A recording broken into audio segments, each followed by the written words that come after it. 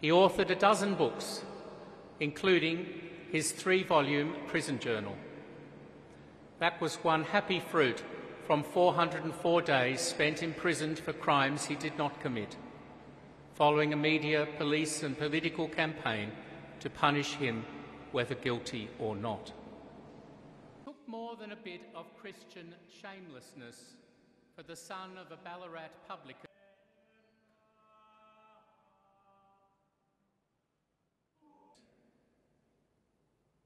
As Scripture promised.